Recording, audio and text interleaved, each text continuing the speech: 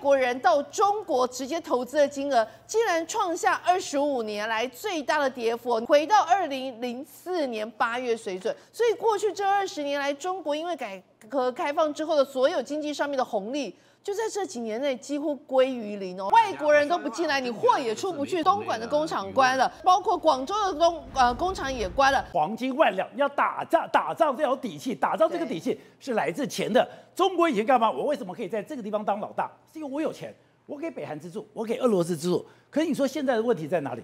他现在问题也在没有钱了。是，我钱他刚刚大声，现在习近平没钱啊，所以现在其实没有人把他看在眼里哦。那现在其实就是从哪一些景呃，就是一些指标可以看得出来。广交会，我们都知道以前哦，就是中国经济的发展好不好？广交会可以说是一个晴雨表。就现在，天哪，呃，已经连续几年都是这样子冷飕飕，没人，没有人哦。以前真的是很多的，就是欧美啊、美美国的一些客人都会这边下单，而且常常说哦，一天又下了多少单，一天下了多少单。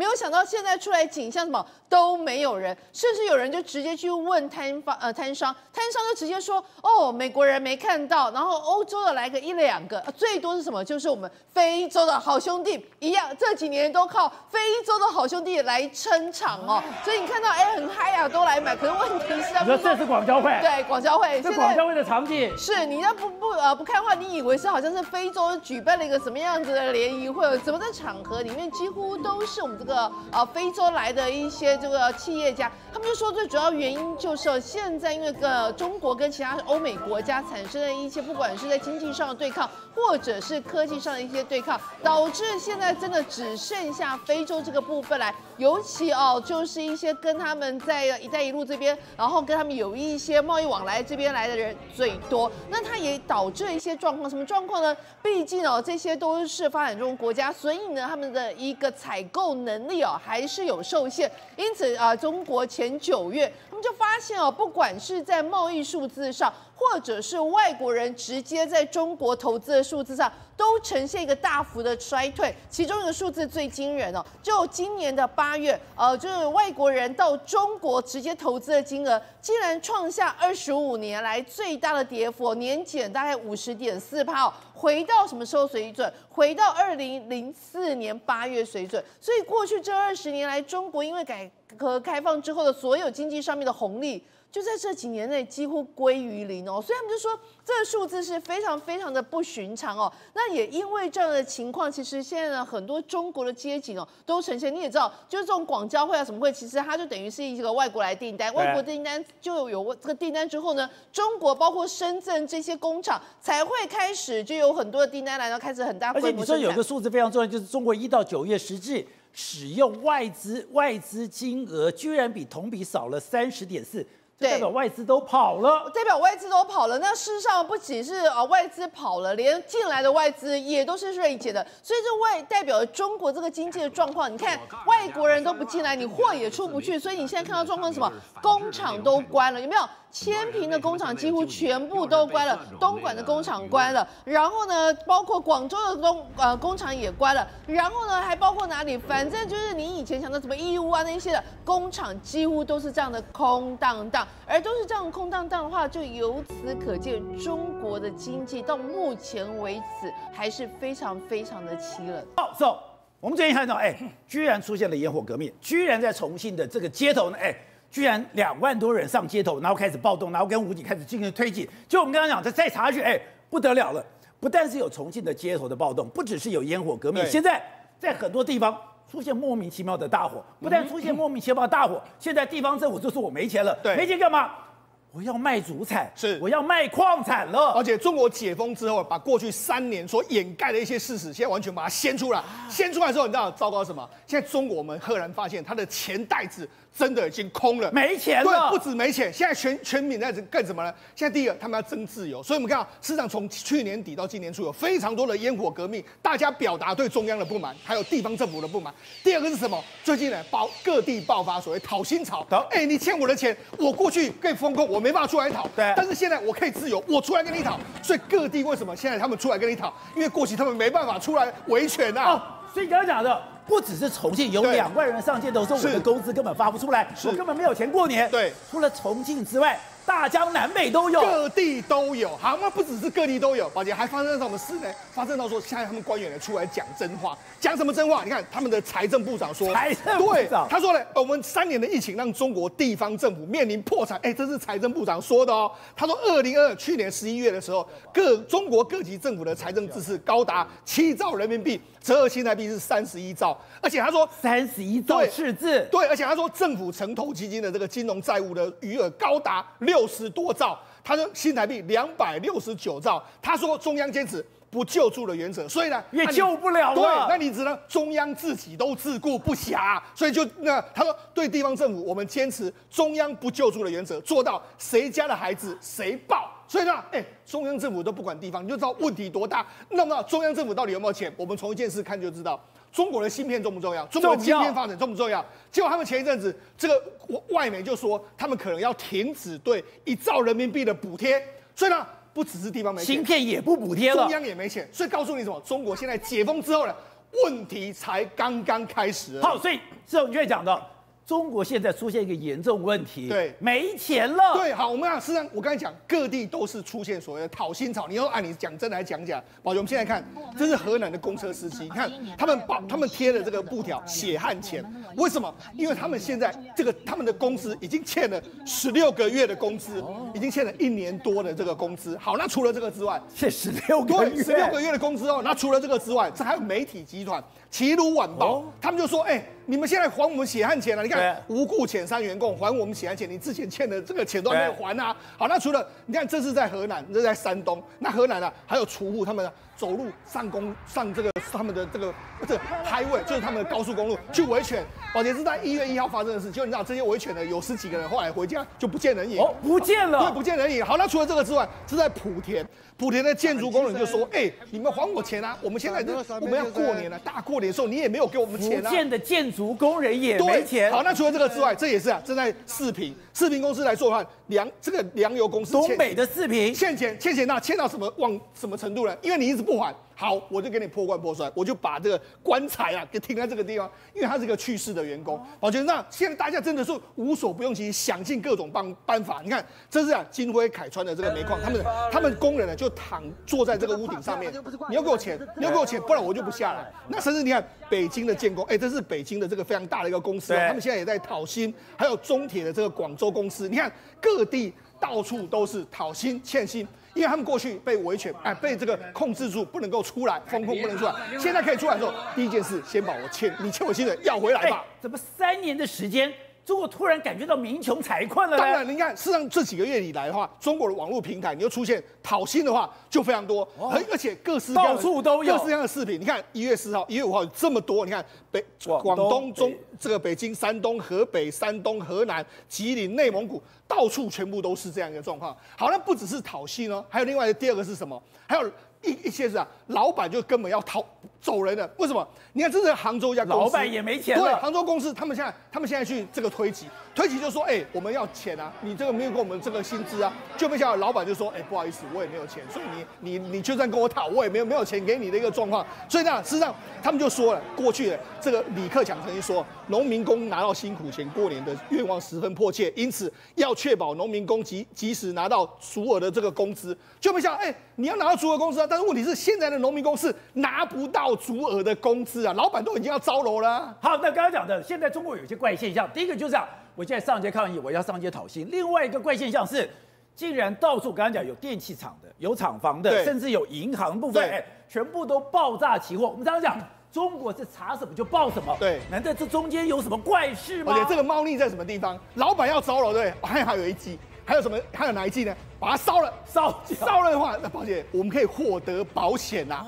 所以用这样来支付给你，好不好？所以这样，最近一段时间，人农民工去跟老板讨钱，老板要么就招了，要么就这样烧。所以你看，最近中国很多地方都出现火灾，你就说啊是天干物燥，没有，这是绝对不是巧合。你看，这是河南的电电器厂，突然之间就发生爆炸。对，那在当时还有人在工作，就这叭叭叭叭，然后就爆炸了，就炸了。炸了之后，你看，因为它里面有非常多的这个电器的产品，所以看起来的话，保险公司应该负很大的这个责任啦。好了，除了这个之外，广东也是一样，广东也，广东啊，这是一个厂房，也突然之间，哎，没有任何原因啊，然后就突然发生了爆炸。爆炸的时候，哦，这个你看，这个河南爆炸，广东爆炸。江苏也来给你爆炸，江苏你看泰州它全部他也是给你爆炸，哎，光天化日之下，还有格林也这个格林美的话，它有一个公司，它也完全给你爆炸。所以呢，事实上现在很多公司都一个一个爆炸，爆炸的用用意是什么？当然就是大家，而且还不止不只是公司爆炸，连银行啊，银行也火灾。这是在商丘市的这个一一哎商丘市的一个银行就发生这个火灾，就火灾之后，你看网络的评论说什么？哎，行长你可以睡个好觉了。为什么？因为为什么资料都烧掉了嘛，对不对？你至少这几天的时候，没有人会来给你追。不是我欠债的资料都没了吗？对。哎，不不是没了，当然过几天之后再来说这个资料在哪里，就好处理嘛。所以呢，是在现在就是你知道很多怪事陆续发生，那怪事多的时候，就表示这个国家可能出了很大的问题。好，所以刚刚讲到的，中国当然最了解这个状况，也知道地方财政非常严重，是严重到中央已经不敢背这个锅，不敢背这个锅，所以才讲现在中央绝对不救助了。对，好，那这样中央不救，那地方政府问题是我还是要钱啊，那怎么办？哎，宝姐，我跟你讲，你现在如果去中国的网络上面看的话，你现在是入主他们什么国企的这个矿业好的时期啊？这样为什么？这是真的，他们在很多他们的网络拍卖上面来说，拍卖有各式各样，这是江这深圳、江西还有江苏各省的国企的股权，还有他们的采矿权都出来。你看这种水流矿的这个采矿权，它价值啊三千两百九十九点五万。然后包括说像这个贵州的这个能源的，它相关的采矿权二点一五亿二点一六亿，你看采矿权还有房屋建筑权七千七百八十八，哎，都帮你拿出来，这是中地方政府他有的权利，他就给你卖给你，他说啊，大家来买都没关系，这根本就在卖祖产嘛。是，他们是这样，而且他不只是卖我们现有的矿啊、采矿权啊，还有卖这个我们的建筑权给你，他还卖什么？你看国有企业，国有企业他还卖了这个深圳这个兴隆电子公分啊股份有限公司的六十五趴的股份，哎，三千一百五十三三十五万卖给你了。江西的这个路能这个景景致的这个置业有限公司，哎，百分之百的股权五百一十二万卖给你。所以现在怎样？地方政府赶你的想办法去筹钱，筹不到钱的话，你地方政府搞不好落到你薪水都发不出来的一个境地。而且刚刚讲的，那既然没有钱的话，出现一个非常怪象，东北东北现在非常冷，对，没有冷的时候，哎。现在居然有一个烧有一个等于说电力公司，对我就不供暖了。没错，实际上这在产煤的这个大事，产煤大事里面来说，你看这是为什么？因为这个地方，那鹤岗这个地方，它过去六度它是产煤的一个大省，就产煤的大省呢，搞到什么？他们目前呢，居民都完全没有冷没有暖气可以用，为什么？因为因为第一个。鹤岗过去几年的时候，地方财政收入非常差，导致导致他们的发电的系统早就已经破产，破产哎，产煤大省就没没想到他们居然没有办法买煤矿来燃烧，来让你不能买煤。对，因为地方政府已经破产，所以呢，市场非常尴尬的局面就在这边出现。所以呢，现在整个中国完全都一片都是大家都在讨薪欠薪，然后完全都是在火灾的这个情形。所以刚刚讲在负十六度的状况下，我家里根本没有暖气，没有暖气的状况下，我干脆上街头对，所以呢，市场现在。就很惨的，就是地方政府没钱的时候，很多很多服务，甚至甚至很多地方呢，现在没有警察，没有晚上的灯也没有打开，所以呢，这个非常惨。那我们讲，那你为什么要欠那么多钱？宝姐，现在对中国来说，压力最大是在我们刚才讲到了，中中国的财政部长说了，城投公司，地方城投公司有六十多兆。好，那为什么？那这是他们网络上评论的，地方基建欠了六十多万亿，就是六十多兆，要奇迹才能够还得上。为什么？因为它这是过去一段时间六十多兆。抱歉，那地方城投公司呢？它是一九九一年成立的，玩到了两千零二十三年，已经玩了二三十三十几年，累积下来的财财务窟窿。那怎么累积财务窟窿呢？我们讲过去地方政府它要发财，它怎么发财？它要成立一个平台公司。这个平台公司要做什么？我们过去有没有听过江无锡赛？哎，这个江西赛维，还有这无锡上德，对，为什么？因为他就用市政府的名义跟民间合作，我要把投资太阳能，投资什么，甚至我要投资什么房地产，我都是用这个平台公司。这个城投公司就是不断的扩大，不断扩大，不断的借钱，所以地方财政能够赚钱，地方能够赚钱都是靠这个。结果现在这些公司都房地产垮了，然后那些产业也垮了，所以现在整个平这个所谓累积现在的负债多到你根本无法想象，所以我才说。中国虽然解封了，但是它真正的苦难搞不好才刚刚开始。好，瑞德，刚看到在重庆，哎，居然有两万多人上街头，上街头干嘛？他们是快筛公司，可是不对呀。过去三年的时间，哎，中国是到处弄快筛，中国快筛的预算跟他的人民解放军的预算是一样的多，这么多的钱，怎么现在这些快筛公司居然一个一个倒闭了嘞？最主要原因是因为过于不及啊。宝杰，你知道去年一整年？整个中国它的这个快筛 PCR 相关的费用花了多少钱吗？多少钱？七点四兆台币。单单花在 PCR 花在捅鼻子这样子，是花了七点四兆台币，大概是占了中国 GDP 的百分之一点三趴。然后呢，本来大赚钱，当去年上半年。那中国总共其实总共有二十多家的公司，就有三十七种的 PCR 的这个相关的这个检测的相关的仪这个试剂啊。那么去年上半年哦，这些从其中十大十大前十大的公司就赚了前两季就赚了一百六十三亿的人民币。照理来讲应该大赚钱嘛，赚很多呀。那为什么会搞到这个样子呢？因为很简单，这只是那么有统计，去年上半年赚了一百六十三亿台币，那么一百六十三亿台币乘以这个四的话呢，四四点多的话，其实是大赚钱的嘛。那怎么会发不出薪水来下半年的预估，因为中共在去年十二月啊，这个整个解封之前呢，照理来讲，去年一整一如果按照这样估算的话，绝对会赚超过三百亿的人民币以上嘛。对。那为什么会突然间面临到这样状况？很简单，因为中共。猝不及防，突然间宣布全部都不用做了，全部都不用做了。以后呢，只剩下一种人要做，是什么？要出国，要出国，他要二四十八个小时，两天内的这个 PCR 阴性嘛。那它量很少，因为它到今年的一月八号才正式开放这个观光客，市场都没了。对，它整个市场都没了以后，这总共是二十几家公司啊。那么负责生产这三十七种的相关的这个等于说 PCR 的这个员工，每一家估计保守估计都有上万名以上的员工。那结果他没有那么大的市场，他没有那么大的量，所以他当然要裁掉啊。对的，虽然中国现在宣称说，哎，我的疫情高峰已经过了，我已经受到控制了，可是有些数字、有些迹象，让人家还是感到害怕。第一个就是，哎，越来越多人传说说他现在二次感染的比例很高。第二个就是，你年轻人还是会有等于说重症。还有，现在台湾苏一峰也提出警告说，什么台湾照一讲，你现在是奥密克戎，应该是照呼吸道，怎么白肺的比例增加了？为什么会有很多白肺的现象？那么这次除了 B F I 还有这个所谓 B F T 这些病毒之外，Delta 病毒的变种病毒还在肆虐。说 Delta 的变种病毒那时候叫大魔王嘛，所以呢，事实上它是往这个下呼吸道，它也下去传染。如果一个人的身上有两种病毒，我问你，那你的抗病毒药物要不够，那你要糟糕了嘛？二十四岁的这个中国女网红啊，叫做这个呃伊川川，她有四十万人追踪，对，十天前才说。她阳性了，确诊了，然后呢，他没有发烧，但是呢，喉咙很不舒服啊。呃，事实上这次我好多台商朋友都说，那么没有发烧的话呢，喉咙像刀割一样，就很不舒服，然后不断有说他那个大概症状怎么样。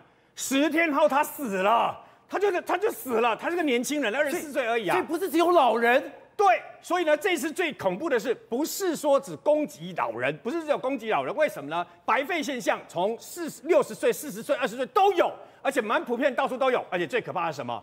是现在不是啊，在一线的北京啦、上海啦，然后呢重庆啦，因为春运的关系，这次春运票又卖得非常的好。因为已经两年都没有回去过年，都就地过年了嘛，所以呢想回家去看老人家，结果就把这个相关的这个病毒带回去。我看到一个新闻，我觉得不可思议啊！为什么呢？带回去了以后，有一个老人家他自己阳性确诊，为了不要拖累全家人啊。竟然自己带着棉被，带着什么东西到郊外去等死，你知道吗？因为他没有药物，然后他也没有办法到医院去，也没有足够的医院，也没有不足够的量能，全部爆满呐。这个悲剧是不可能发生的。可能问题来了，宝洁，你知道现在之前讲去年做 PCR 的公司的股价不是都翻了好几翻了好几倍了吗？对。你知道最近什么在中国什么公司的股价呢？都涨了，我大概是呃百分之五六十以上。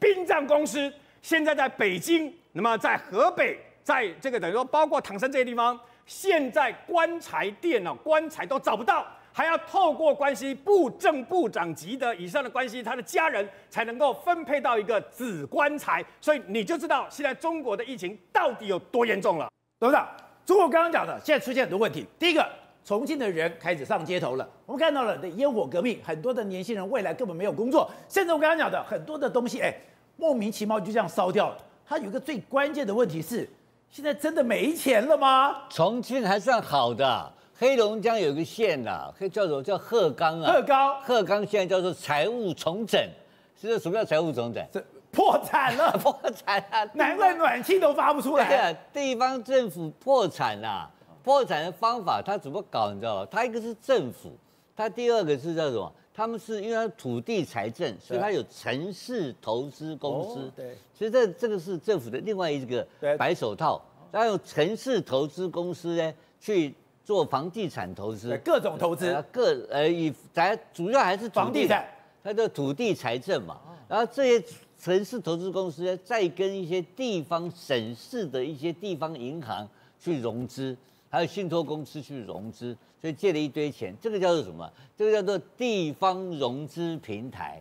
这里面的金额就是刚刚世聪讲的六十几兆，六十几兆，哎非倒人民币，哎，对对台币就上百兆，哎，你没有收入嘛？我现在讲个数字给你听啊，它这个土地财政啊，它在二零二一年的土地收入占整个政府总收入的四十一点四七趴，对，就快在一快一半了，四十趴，对不对？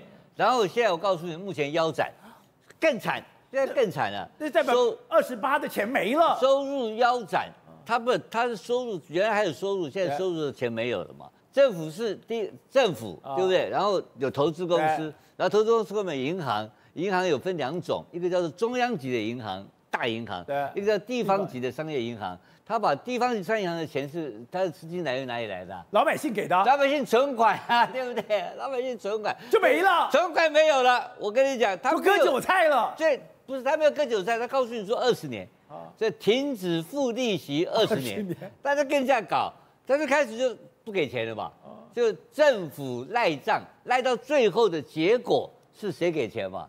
是老百姓的存款在存在银行里面，然后拿不出钱，对。那银行会怎么样呢？银行没有钱付利息啊，银行又宣布倒闭啊，可是政府不能倒，对。也不能倒嘛，对不对？因为倒了会开始暴动，对。就是你刚刚讲到的这些有领不到钱的、领不到材料款的，对。或领不到工资的人，就闹了。是，要出来上街头闹。但它中间还有一个关键，就是他有个老板，呃老板跟银行中间又有纠纷，所以追根究底的结果是我告诉你，是银行不不开始不给钱。那银行不给钱的背后是什么呢？因为政府欠银行的钱，他已经跟你订合约，对二十年再给你，呃没利息。那这个事情能善了吗？这不可能，这不能，这就那就就倒啊 倒，那就最后你银行就倒掉了啊、因为你这个银行是什么银行？是属于地方商业银行。对，那个执照是谁发的？是他地方政府、省省市政府发的执照。那老百姓存的钱那嘞，老百姓，那所以他没有倒闭啊，银行也没倒啊，因为他欠你钱没给而已啊。就一 就是老百姓，老百姓欠钱不还，利息拖二十年，他没有不还，他告诉你说利息欠二十年嘛，那利息你二十年后可以拿到利息，或十年、五年，他可以可以给你长，他把合约延长嘛，那没有问题啊。他所以所以他他没有破产嘛，他叫做财务重整，就是赖账，赖账，赖账会怎样呢？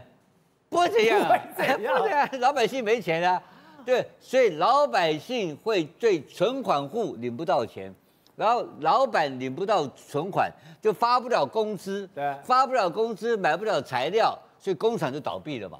所以整个地方比较脆弱的省份，通通会出现问题。所以我刚刚第一个告诉你说，黑龙江有一个叫做鹤岗鹤岗市，它现在开始就是叫做财务重整这个新的名词。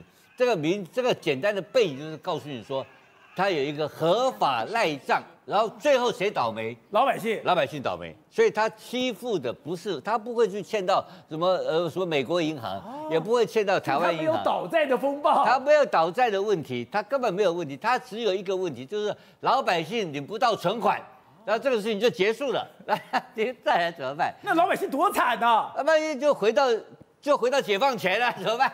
怎么办？对不对？烂尾楼啊，你有房子啊，对不对？然后很多老百姓就是银行有老百姓开始循环了、对老百姓欠银行的钱还不还？也不还了、对不对？所以大家都互相都不还钱了就全部赖成一团。走，雷蒙都到了中国去访问，哎，见到了李强，两个人哎看起来笑得很开心，哎，看起来这个场合很愉悦。对讲说哎，中美双方终于找到了一个共同的可能，可以去把双方的僵局做一些缓解。对就没有想到。雷蒙多回去以后，两边哦，不是只有中美国，对中国跟美国话越说越狠。没错，美国商务部长雷蒙多去访问中国，你看他见的人都见了，你看还见了李强，你看他们两个的照片，对笑得开心笑得非常开心。可是问题是，两个人笑完之后呢，互相拔刀互刺，有这么严重？对，那刺到什么程度？你看这个习近平这一次的这个 G20，他就已经不去了，甚至现在有传言说年底的 APEC 在美国举行，搞不好他也不去。所以拜登一直想要在 G 团体里面跟习近平见面，然后就结果习近平不跟你见面了，。所以那现在拜登就说我很失望，但是问题是为什么搞到这样的局面？因为美国跟中国双方显然他们立场都不愿意改变，所以现在呢两边已经谈崩了一个状况。你看谈崩到什么程度？这个雷蒙多回去，他接受美国媒体访问，他就直接说了，他说中国经济现在很差，尤其是房地产，房地产现在大概完蛋了。直接讲中国经济很差他。说什么？而美国继续，他们就说，哎、我这次去了，有很多人跟我说，不要这个对中国经济继续制裁。他说没有，美国将继续对中国出售半导体晶片，但不会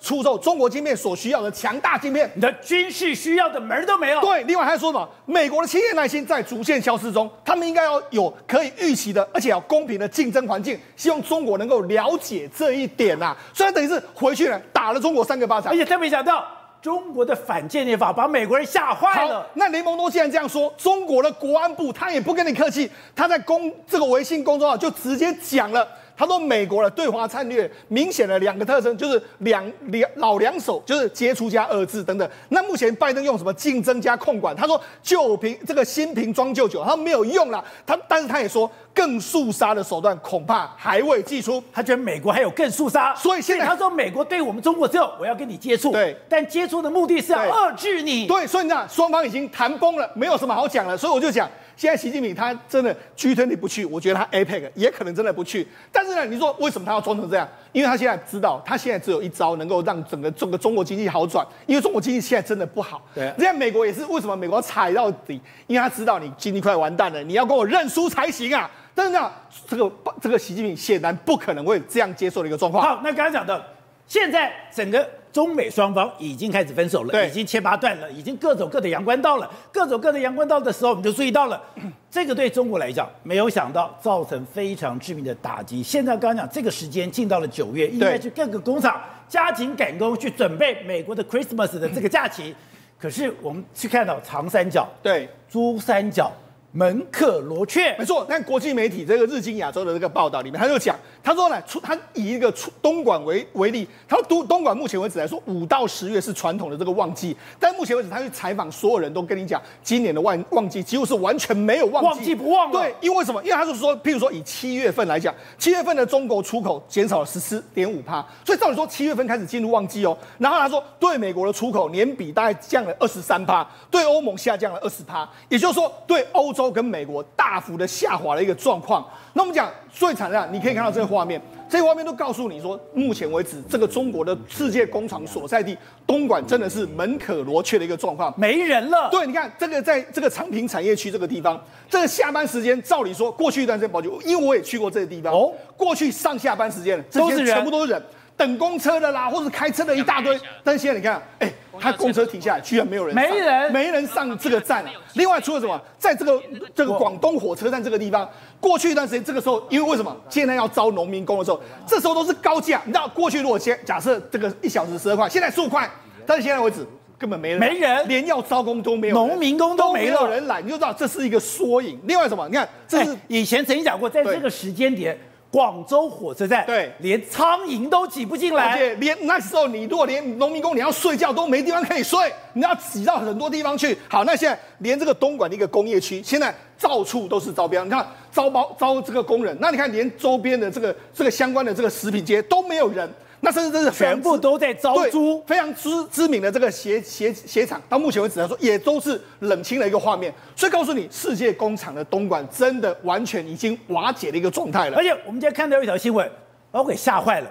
居然在中国，哎，有一个医学院，对医学院不是说在台湾很吃香，哎，是在中国也是顶尖的人才有办法去念医学院。就他们到了医学院，导播我们看那些照片，我看到，哎，这底下都是垃圾，刚刚衣架都还没拆，进到了浴室，你看到没有？这个都还把死牙给都还没有做，对那你看到到了这个房间里面，连这些东西乱七八糟，对，就这是医学院，对然后医学院的学生住在楼上，对底下都是垃圾，对，抱歉，那雷蒙多不是说他说中国房地产很危险？为什么？因为大家都知道烂尾楼一堆，恒大、碧桂园一大堆。哎，现在烂尾不是只有烂尾什么这个住宿，呃，这个所谓你住的房子，或者是烂尾所谓商办，现在连学校宿舍都这个样子。抱歉，这个是什么学校？这是长沙医学院。长沙医学院。长沙医院，学院呢，在这个湖南的地位类似我们台大医院这样，但最顶的就最顶的，哎，这是长沙医学院，他们一一个一个学期的学费要四万块，四万块含有这个住宿，就这些学生兴趣完全傻眼，四万块人民币。哎我这个这么好的学校，我是哎人中之龙，人中之凤，我来多少的收摘。就这个学学生，哎，宝姐，他们学校宿舍，你看这这么脏，这是在学校宿舍拍的，这不是在垃圾场，对这是真的在学校宿舍。那除了拍到这个之外，你可以看到这个他们的这个浴室啊，对浴室你看，哎，根本就还没做好。还没做好，你看，完全都是这样烂烂烂的这个样子。那这是走廊，走廊也是一堆的状况，根本就是没有完工。那你硬要是来，走廊还有一些拆掉的建材，那好，外面还有鹰架，摆明了就是完全没有做好。所以人家就说，你看这里面的这个里面的成色也都是乱七八糟，甚至还有什么？还有学生进去之后就没想到，居然有这个瓷砖掉落，九楼掉下来砸到这个学生啊！所以幸好，哎，幸好这个受伤不严重，赶快救过来，不然他就如果可能会往生啊对。所以大家想，完蛋了，这怎么会这样？哎，哎一个。，湖南长沙的医学院，医学院居然是这样的一个状况。哎，这一一个学期四万的住宿住宿费，就边居然是住哎，如果是四万，那和台币什么快二十万呢。哎、我就说能够在中国念到长沙医学院的，都是人中龙、人中凤，就搞到这个样子。你看，这是哦，学生从宿舍的门口走出来一个画面。看你说连学校盖的房子都是烂尾楼，都是烂尾楼。那你看学校，哎，不，甚至还有人就说进去这个学校里面，你看闻到那种类似甲醛呐、油漆那个味道，都很刺鼻，然后就觉得我、进去里面没多久都很想要昏头的这个状况。没想到他们都这个样子，就没想到他们就说什么？他们学校说啊，没有啦，因为我们这个这个所谓这个鬼月的关系嘛，那我们现在住最近那个人人力不够，所以才这个完全 delay。可是问题是你如果看这个状况，这绝对不是 delay，这可能真的盖到最后会变成是烂尾楼的一个状况。所以现在烂尾楼居然已经变成了一个中国无法闪躲的现象。是那最近有一个影片叫《我家住在烂尾楼》，对，一天就有上百万的人去点阅，对然后当然它的下场就是马上下架，没错，我们看这个影片，这影片在中国境内应该是看不到。这叫什么？这叫我家住在烂尾楼。它上架一天的时候，没多久之后，它就已经有百万点阅，但是百万点阅就已经被下架。他讲什么？他主要在讲二零二二，他是二零二二年拍的，因为有非常多人都是烂尾楼的状况，所以这个人拍的人，他去采访了非常多的这个烂尾楼的这个楼主。譬如说有一个这个女业主，她说什么？她是二零一三年就买了房子，二零一三年买房子，她说小孩子还小，就没想她小孩子上学的时候想说有一个房子，就到目前为止没有房子，他们全家都二零一三年到现在对十年了，住在十三楼的这个毛坯屋。那毛坯屋你看就是类似这样，没有水没有电，他们还要自己去楼下拿水拿电，然后他们每天要走来走去。他住在十三楼，十三楼的话，他他说他还有一个这个六十七岁的他们老，他们算是老婆婆啊，对他要每天爬十三楼啊。六十七岁，对，那他就说，哎、因为我还要去买东西什么，他说我今天已经爬四五趟了。而且爬楼梯要带手电筒，对，因为没有电，所以呢，你就知道这是非常惨的一个状况。甚至还有一个一个男子，他接受采访，他就说了，他六岁，他带了一个小孩住在这个这个烂尾楼里面。他说他觉得这个房子真的非常糟糕。他说，哎，我现在只能够一个一个人坚持下来。那他小孩子在旁边，你看念书的时候，他还必须要打开灯，让他小孩子在这边念书。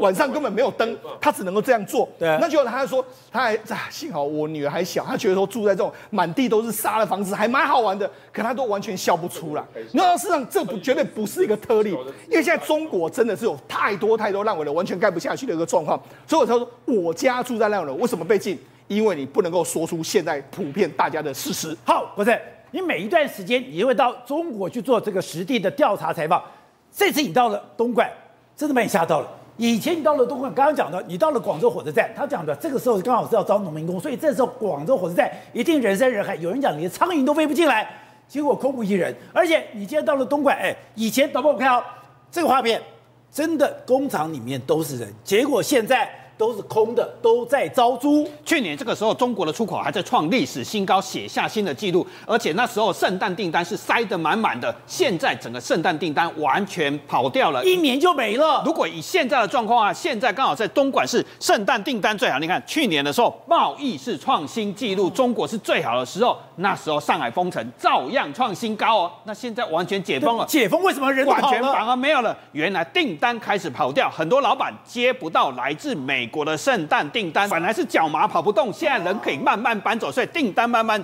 搬走，所以广达跑到泰国，因为 HP 这些人。苹果要求他到泰国去生产，HP 也要求惠普这些人，泰国、越南、墨西哥都跑去东南亚生产，连沃尔玛、阿玛龙这些订单通通跑掉，所以现在台商或者是零出口的工厂订单少了百分之四十，逃走只是开始，因为一直在往外搬。而且更可怕的是，为什么雷蒙多说美国的商人对中国失去信心了？为什么？三年来改变非常大，你一路进的话，而且你说你这一次，你这一次到中国，你过去也常常去中国采访，你还在中国驻点过。你说这一次你去中国，你最大的感觉是？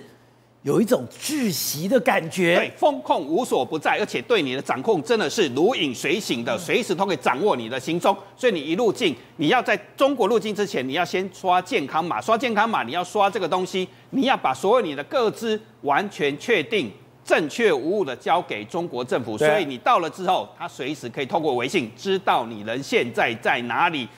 所以你你一进到中国，你就要刷一个健康申报码。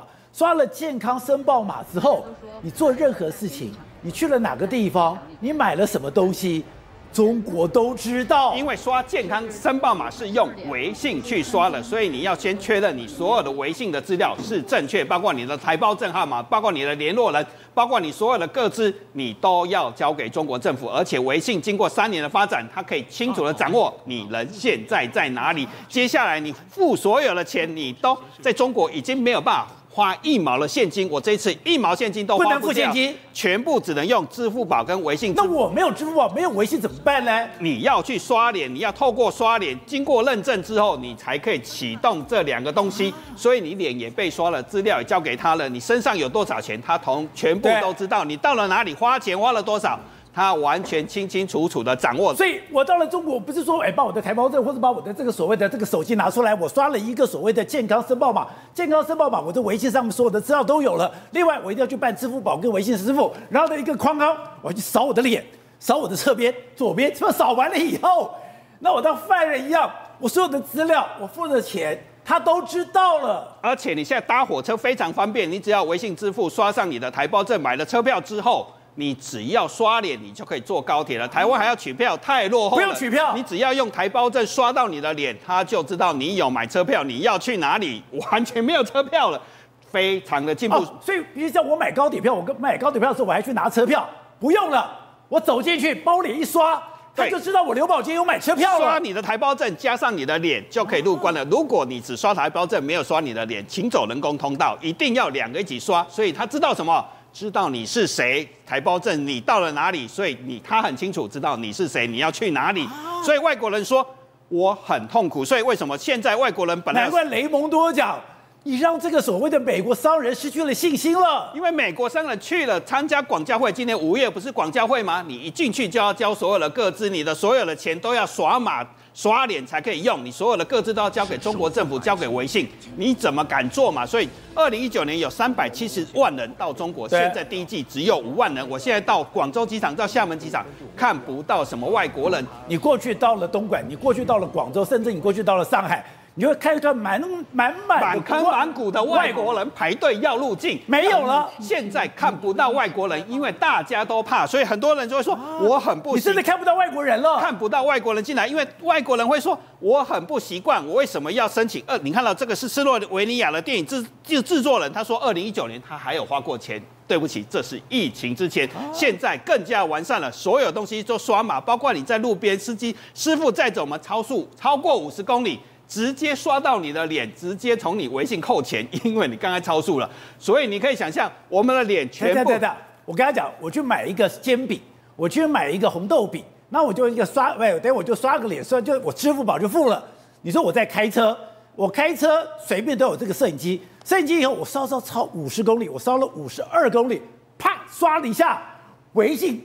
罚单就没了，罚单就没了，所以他这么厉害，知道你在哪里，你在路上做什么？我在开车，刷的一下，微信就把我扣款了。对，直接把你罚单给付掉了。所以中国大陆现在科技这么方便，所以外国人很不习惯。你以为只是刷这样吗？不是，他刷之后，现在地方政府都缺钱，所以缺钱他就可以清楚知道。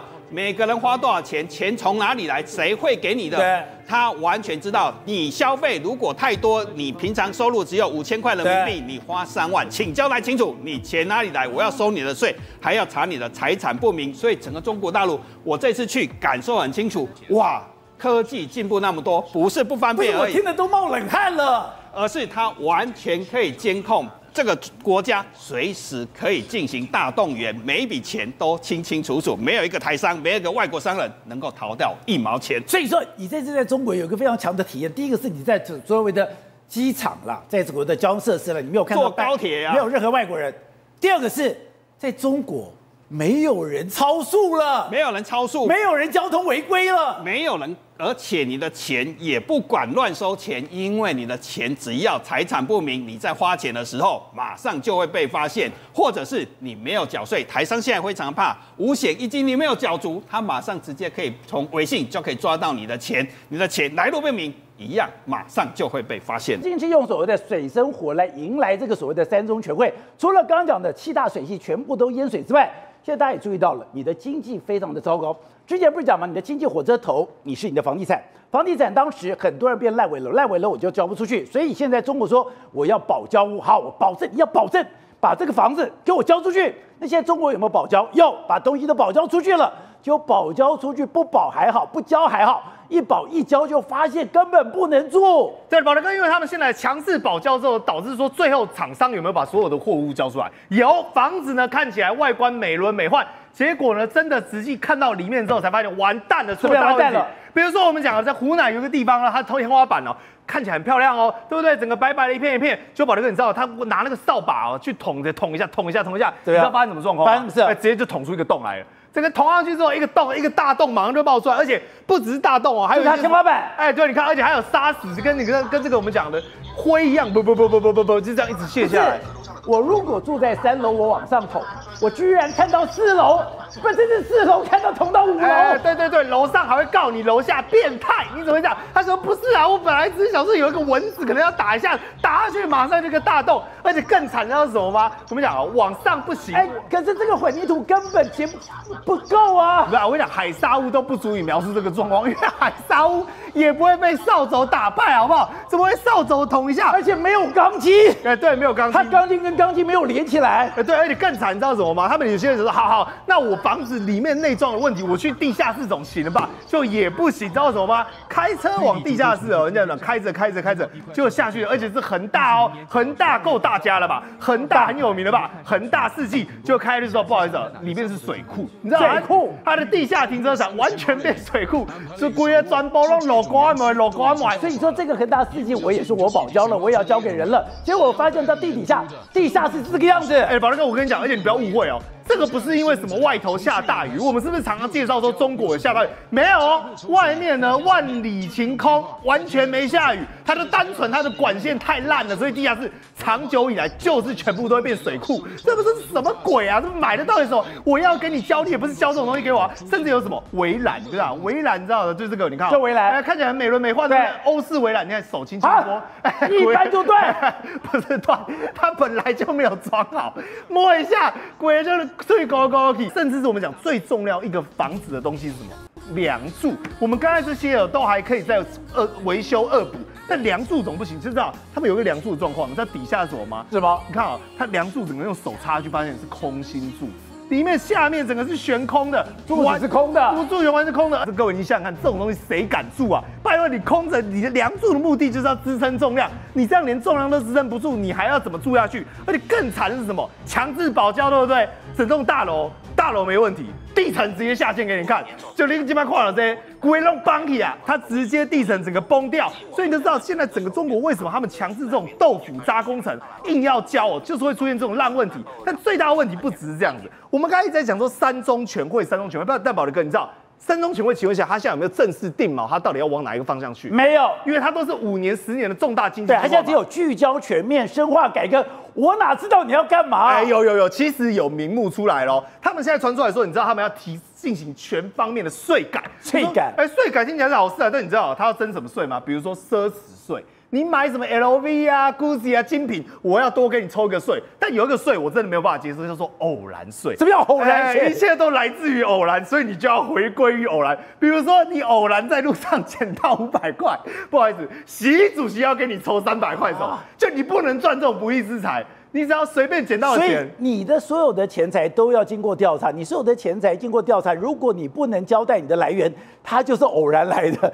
如果是偶然来的，缴重税哎，。偶然来的钱你就要回归于偶然，而且各位你知道他们现在玩多狠吗？还给你用一个手机 APP，这个手机 APP 哦，各位它不是一般的 APP，它就会把你全方面，比如说你的薪资所得啊，你的哪里啊，你的出售啊，你的股利所得，你的房屋所得、租税所得，全部统计在这边。所以只要你的财产跟这个数字里面有差额，哦，你偶然喽，马上就要把你的钱收回来。所以你知道现在中国为什么要要吸人民的西人民脂民高到这种地步？没钱了，全方面破产。我给各位一个数字哦，破产最严重，你知道，其实不是中央，地方政府，你知道吓死人。你知道他们现在隐形债务多少吗？三百五十八兆，三百五十八兆，哎，这个已经远远超过中央的债务上限哦。对所以代表他们地方政府全部都垮台了吧？那你知道为什么会垮台吗？因为他们大量的乱盖房子。比如说我们以柳州为例好，以前柳州你知道什么吗？做汽车最有名。他们甚至有五大家厂商专门做汽车，驰名海外，驰名国际。就你知道他们后来呢，政府天方夜谭，你知道搞什么东西？搞什么？大量的融资。而他们融资的方法很特别哦，因为每个政府有举债上限嘛，所以他为了规避这个举债上限，说我们创造一个叫做融资平台的东西，而且这个融资平台哦，有政府挂担保哦，甚至他比如说我柳州政府，我就帮你挂担保，但是这个融资平台你知道拿来干嘛？盖游乐园。那盖什么？你知道盖滑盖滑雪场，比如说贵州盖滑雪场，但是问题是宝杰哥，你知道出出一个大问题，谁去贵州滑雪啊？对嘛？你谁会去贵州滑雪？那你盖那个游乐园之后，谁来去？他觉得他是规避掉原本的旧城镇，他等于是全新的造镇计划，所以最后导致的结果是什么？柳州欠债欠了九十亿，然后呢还不出来。各位我讲的是美金。所以我现在看到的都是烂尾楼哎，。对，然后全部空荡荡，甚至他们为了要串联旧市镇跟新的这个游乐园，还盖了什么？中间还盖捷运，结果捷运到现在已经知道融资跳票，根本没有人付出来，所以中间变成什么？全部都变烂尾楼。就跟你现在看到了，一层一层一层都是只有支柱，没有轻轨，没有捷运的烂尾楼。所以你就知道这种状况下，当然得要跟民众吸民脂民膏，才有办法去盈亏两平。好，几位，你过去讲说三中全会对中国来讲至关重要，因为所谓的改革开放就是邓小平在的三中当年的三中全会所这个提出来的，一中代表我的人事，二中代表我的整个政治的方向，三中就是经济，所有的五年经济计划从这个地方开始，就今年居然是一个闭门会议，我觉得非常奇怪的是。既然到现在一张照片都没有流出来，连一个主张都没有流出来，现在只知道他要拔鹅毛，也就知道抽老百姓的税，而且拔都来不及啊，是用整个用剃的。这一次来讲的话，还是以习近平自己个人的利益为中心啊。为什么呢？因为你现在所有的媒体，包含新华社的，都定调这一场会议叫做把习近平视为是改革家，你知道吗？那他说改革家这个概念来讲的话，就跟过往来讲，邓小平所谓的改革开放其实是并驾齐驱了。所以你看，你看到现在为止哦，其实这一场会议不重要，为什么？这场会议已经延宕半年了，本来在半年前就应该开了。对那结果延宕半年之后要开的原因，是因为你不开三中，怎么去开四中？哎，对所以现在其实它是一个过场的概念，那里面的政策主张其实已经不重要了。为什么这样讲呢？习近平的本身来讲，他为什么要定位改革改革家？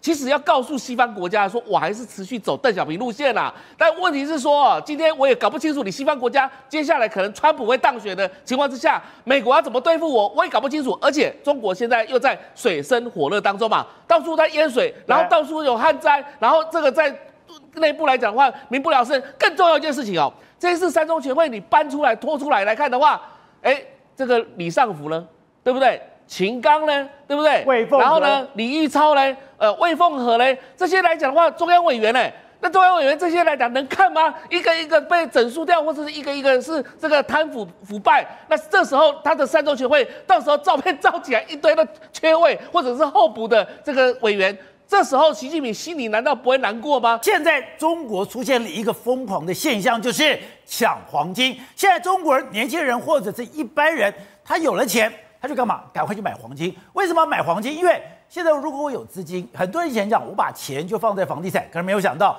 现在的房地产连北上广都撑不住，很多的这个所谓的房子都是腰斩，甚至你一开价。一百万先降，其他慢慢再谈，这个是非常可怕的事情。好，我的钱不能放在房地产上面，那我去丢股市吧。我跟你讲，上海证券现在已经跌破了三千点，它现在已经进入一个跳水的状况。连我们刚刚讲的，连胡锡进都说，哎，它已经被割韭菜了。那我现在我股市不能放，我房地产不能放，那我放银行总可以吧？但可怕的是，你现在如果放在银行，我们就看到有已经很多的地方，包括河南，包括山东，很多地方你把钱放到了银行以后，哎，你竟然拿不回来。所以，是头，我们现在看到画面，哎，这是实打实现在在中国的画面。中国真的这样子疯抢黄金，而且这个疯抢黄金不得不然吗？没错，现在所有中国民众不分男女老幼，不分大江南北，大家都往银楼跑。为什么？大家要买黄金。那为什么要买黄金呢？因为说真的，他们现在赚了钱之后呢，没有地方可以去。而且过去一段时间，要么存银行嘛，不好意思，存银行，你现在存进去呢，钱会出不来，拿不回来，拿不回来。而且好，那我说我要去定存，不好意思，现在银行呢，他都不收你定存的一个状况，不收定存。那好，那我去买房房房地产，房地产，哎，房地产现在价格在往持续回落，几年后搞不好会腰斩。那我去买股票呢，不好意思，目前深圳股市还有上海股市还在创新低，所以根本没有办法可以买。那你目前为止，中国没有任何投资工具啊，没有地方可以投资。好，那你说，那我就放了人民币，哎，就。人民币还在贬值，所以他们现在只能够买保值的东西。他们现在想心里的想法只有我要保值，我要安全。他们买黄金不是为了要投资啊，对，他们是为了要让黄黄金至少放在家里面有安全，我看得到。然后另外一个还可以保值。所以他们现在男女老幼，你看这些场合都是很很多，我想。过去我们都说是大妈来抢黄金，对，我跟你讲，今天现在不是哦。所以说这样子万头钻洞的状况，是真的变成全民运动了。对你仔细看里面来看，过去大家都是大妈大叔，现在没有，都是年轻人。真的耶！现在反而是年轻人很多，年轻人他可能赚钱的，马上就跑到银楼去，马上就把它抢抢这个黄金。对，而且目前为止，以今年上半年来说，中国的黄金较去年同期增加了百分之三十三。所以，那事实上，中国民众真的是疯狂在买黄金呐，黄金增加百分之三十三的供应体量很多。那你看，事实上，我们就讲以武汉来说，这是武汉的一个楼，这个楼来说，你看中国黄金，中国黄金，你看它这个一栋楼全部都在卖黄金，这栋楼，对，整栋楼都是黄金楼。进去里面来说，你看，黄姐，你如果真的有人拿出来黄金的时候，你要怎样？你要用抢的，拿马上拿出来之后，马上就抢，尤其是他们喜欢，因为他们现在喜欢。我们以前可能都买这个金元宝，包括这金条，对不对？他们现在不是，因为我们我就说，现在年轻人在买，专门在买的是小豆子，他们有那种把黄金弄成一个小小的一个圆一个豆子这样，小豆子还有小鱼，大家在抢，分，所以大大家都要抢。你看里面都是人山人海，而且这有时候是晚上深夜哦，还是这么多，哦，这八层楼里面都那么多。他又说了，我们啊，我们开业以来的话，我们动用了一百多个员工，但是到目前为止，我们有一半员工已经都没有病，都没有办法轮休，都病倒了。所以这个画面，对我已经调了一百个人来了，调了一百个人来了，有一半已经病倒了。对，那你看人山人海，哎，你又觉得这是在干什么？这是结果在买黄金啊？太夸张了吧？对，那好，那你说只有武汉这样？没有，我们看深圳是这样。深圳的黄金卖场里面，大家都全部在买啊，这是深圳的画面啊，然后就在那边喊，哎哎，我这个黄金多少啊？现在的楼盘价这个多少？哎，我要买多少？哎，他在那边讲，然后马马上你看。果然很有气魄，你看拿了一个盘子，然后装了大量黄金，就哎，我们去结账吧。对，所以那事实上目前为止来说，真的里面到处都是人，大家都买黄金，而且买黄金大家都一盘一盘的就把它结账。你看这这小姐买黄金出来，还拿一个金条啊，然后出来说，哎，这个还触感还蛮不错的一个状况。所以现在全世界的黄金的价格是被中国人推上去的。他们就讲啊，实际上你看这个黄金，这个连外媒都报道，外媒就说，你看这路透说中国年轻人舍弃传统的投资，青睐黄金。那你看。买很多黄金，那甚至你看，他们就买了黄金，买了小小的黄金，它都是很小的黄金，然后甚至还有人呢买了金条之后，去把它打造成这个金饰的这个状况，我至少可以戴在我的身上嘛，我这样也可以保持，我同时可以可以那个炫耀。这个是要去排队买黄金的。对，好，那你看他们就买这个，我就说现在中国流行是这个，你看买这个豆子，他们就拿金豆子，金豆子，那这个金豆子大概是一一公克左右，所以就说了，这个约莫。很，你收入可能比较低，你一个月可能可以存四百到五百块人民币，你就买这个金豆子。他就说了，哎，他们一直在存金豆子，那不就像我小时候在存那个猪的存钱筒吗？对，一一样。他们就只是说他们现在存了，他们不敢存人民币啊，他们就存这个一些东西。所以你看，两年后存了这么多，那为什么？因为他们现在安全太多。那人家就去买，就去问这个问这个年轻人说你在搞什么？他说呢，这一个北京大学学生，现在唯一可以让我信任并让我感觉到安全的事情，就是投资黄金。所以呢，但还有说，还有一个二十三岁的职员就说，眼下的选择不多了，人民币一直贬值，那金融市场投风险太大，然后房地产就令人失望，所以就是说大家都在买黄金，主要就是这样子的一个情形啊。而且路透社特别去问了周大福，周大福还讲说，哎，他们还做调查，因为周大福我们曾经讲，他是非常大的一个黄金交易的这个对单位，他讲年龄到十八到四十岁的消费者，十八到四十哦，对，有百分之七十。有意买纯金首饰，对，连周大福的经理都说，哎，我们非常非常讶异的发现到，十八到二十四岁的人开始买金饰，这让我们非常惊讶。不是以前觉得买黄金是老人家呀，过去都是年纪大才会买，但是目前为止，中国兴起了一个买黄金的这个热潮。那甚至还去问一个在置业公司的工作人员，他说就业环境一直不太好，那买黄金可以让我感觉好一些些。买黄金好一点对，我想在婚礼上佩戴金饰，而不是戴钻石。那为什么？因为现在钻石不流行不是了。因为钻石比较贵，你戴一个钻石的话可能好几万，但是我戴金饰的话相对比较便宜，而且戴金饰来说，哎、我可以保值。所以现在目前为止来说，中国大陆民众全部都在保都保值，为了保值来说，你看这就是黄金期货的报价，你看目前为止来说又流来到了历史新高的这个位置。很简单，就是因为中国人呢也加入了买黄金的一个一个路途啊而。且更可怕的是，你在中国买黄金的价格是比国际的价格还要来得高。当然当然代表在中国黄金价格的需求真的太大了。对，因为他们的目前为止来说的话，进到中国里面去，除了缴课税一大一大堆，所以中国黄金价格是比国外高一点点。好，那为什么大家就是说，那我要买黄金呢？因为很简单，大家都看到很多消息嘛。前一阵子不是有中国农民银行的这个这个所以这个绵阳的南郊分行，有一个女生，有一个女生在那边哭嘛，我怎么在那边哭？她说我存三十万人民币，我要存钱。就要变成弄成是理财商品，就理财商品的时候，我提款的时候一分钱都没有了，三十万都没了亏空掉了，或者说完全没有办法出来，没办法赎回，所以他觉得，哎、我我的因为理财商品不是马上能够赎回的，我要过几天，那我哎、我明明就是存定存啊，为什么没办法？所以你看，他们后来直接案子来说话，还这个闹上了媒体版面，哎、原来你存钱有可能会不见啊，就真的是这个样子。另外一个什么诡异的现象，宝杰，我们讲。一般来说，然后是不是越长期的存款来来的利率应该比较高嘛？应该比短期的利率高嘛？一年期可能五年期，五年期都要比一这个一年期高嘛？可是中国现在不是这样，宝杰，我们来看，这是中国的建设银行的三年期是二点六对，五年期是二点二五，反更少了反过来，对。另外这是什么？这是三年二年期的是二点三五，三年期的是二点二，这是在另外一个交通银行。存越对久，利息越对，低那。另外一个宁波银行也是一样，三年是二点三，然后五年是二点三五。那为什么出现这样？因为利率应该是这样子，结果它是反过来。那告诉你们，中国经济要出大麻烦了。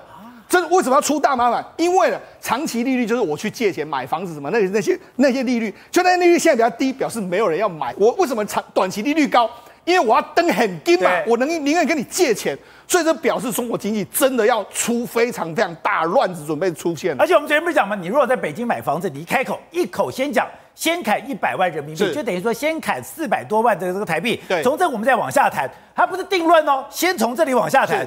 深圳更可怕，深圳现在动辄已经跌百分之六十了。没错，像目前为止来说，你看很多这个网络上面都说，你看深圳全面崩盘，不分这个地内地地段的内外哈。从中啊，这是一个某某一个比较高的这个罗罗湖那个地方的一个社区，最高的时候曾经来到每一平六十万人民币，哎，这个价格非常贵，你要乘以五才是台币哦，它现在已经掉到十九万。所以到事实上，目前为止来说，他们价格掉的真的非常非常多，掉了六十七个 percent。那你更不用讲，以上海也是一样。所以现在整个中国，我为什么年轻人不想买房子？因为整个房地产在完全在崩跌的一个状况。那你更不用讲股市，股市我们才讲嘛，它这几天又破了，又三千点站不上去，一直的往下跌，跌到什么程度？跌到连老胡都胡锡进都出来讲话了。胡锡进当时讲的，我要支持国家，我要把前进股市，对。前进股市赔了一次没有关系，我继续加码。对。他现在也惨了，哎，一开头十二月五号讲的，开场就是今天跌的真惨，老胡从早上起来就一直忙，对，没错，那一天的这个中国股市是出现一个下跌，他又说呢，他打开，因为他一直忙，他最后才打开他的股票的 app，然后发现到我个人竟然跌了八千两百五十二元，跌幅跌了一点八。也就是说，当天他的这个身价贬值了一点八个 percent，所以他就说什么，他就开始怪中央，就说，哎、有人一直在什么，有这个中央不是有很多政策吗？对啊但是为什么会有人出来什么打打打横炮出怪声，就是一直这个这个样子，到底是怎么回事呢？所以他也出来说，哎、股市真的很差，老胡都被割韭菜连胡锡进都这样说，那你更不用讲嘛。最近一段时间，这个议会满，议会满曾经是他们的这个证监会的这个主席，就证监会主席前一阵子不见了。前一阵不见之后，后来突然之间他这几天就出来，这天出来之后，他就开始讲什么？哎，我要加强中国对整个资本市场的统一领导等等。就他不出来讲还好，一出来讲之后，股市反而重挫，因为你还要监管啊，集中统一大家完全吓死了。所以我就跟你讲，目前为止来说，中国的股市、中国的房市、中国的汇市、中国所有市场都非常非常糟糕的时候，年轻人怎么办？我就只能够去买黄金啦。好，董事长，现在中国的经济真那么差吗？刚刚讲的，现在你在干嘛？在武汉，你在深圳，你在上海，很多地方，哎，那个卖卖金子的地方不是一个店面，是整栋楼，整栋楼就直接讲中国黄金。那你想说整栋楼进去应该？体面积这么大，进去应该稀稀落落，没有每个进去以后都是人满为患，都是万头钻洞。现在我真的已经没有任何信心了，我只能买黄金，我的心里面才有一点点的安慰了。不，有个经济原则哈，它要有规律性。那现在中国的经济出了问题在哪里，知道吧？出了这前面几年清零，这受新冠肺炎所造成的那个混乱，对，然后一下突然间又开放，一下子突然间又缩紧。然后经济也是一样的东西，所以政府变成一个不可靠的政府，政府的作为让老百姓无所适从，这是第一个问题。然后呢，全部大量集中在房地产的投资，对，那房地产投资变成它跟地方政府的税收整个变成形成暴雷的现象，所以它这整个基本面现在变成非常的混乱，在这个地方，它一下开放，一下缩紧，一下又救市，一下又退出。这是他目前国内的情况，所以让所有人莫衷一是了。对，然后这个就是它整个，所以现在习近平在成立了好几个工作小组，对，自己本身跳下来主导嘛。你看这这国务院李强，他也管不了事情啊。然后更糟糕的就是国际形势也被他搅得乱七八糟的，因为他不应该支持俄罗斯，他去支持俄罗斯；他不应该去搞，去跟哈马斯搞，他跟哈马斯搞。然后美中关系现在变成非常的恶劣，对，美中关系的恶劣情况呢？超过习近平的想象，我觉得这是一个最核心的问题。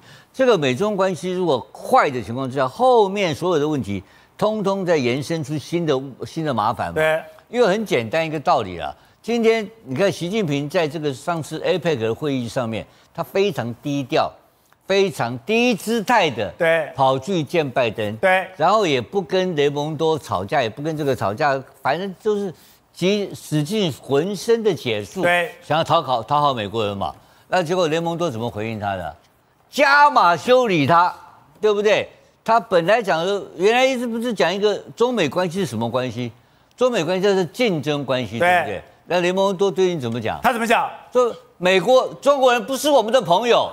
不能信任的对象，对，是我们最大的威胁。这个不是是我们的威胁，国家威胁，把定位成威胁，由经济的单位主管直接讲定位成威胁的话，这个已经变成非常明确化的一个东西跑出来了。那这种情况之下，它一个最大的外销出口国的一个客户就是美国嘛？对，他在全世界就三个国家，因为它目前呢还是外销经济，还是生产业主导的一个企业，然后其他的内销部分通通崩盘。而今年的整个目前的景气是衰退的，所以你现在讲的这些黄金这些是什么现象？这个不合理嘛？因为合理，因为很简单，因为买黄金是什么人买黄金？老人家买黄金避险，避险根本因为黄金没有获利嘛。不是还有准备跑路的人买黄金嘛？就是好好，就是因为黄金是一个避险的工具，对，而且它没有确定说为它的回报率是不确定的，对。它没有利率嘛，它没有固定的这种所谓的收，它不是一个收益型资产。这种非收益型资产变成大家去抢购的话，那当然就会变成一定会一定会价格一定会上扬嘛，起码内销价格会上扬嘛，供需关系啊。可是这个东西在国际市场上没有这个波动的行情啊，对，所以这个国家有问题嘛。